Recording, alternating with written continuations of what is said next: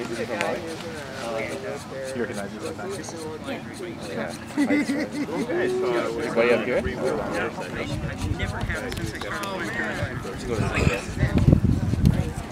Okay, come on.